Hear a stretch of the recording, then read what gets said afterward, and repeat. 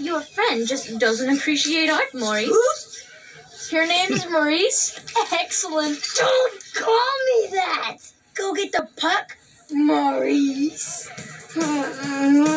Maurice?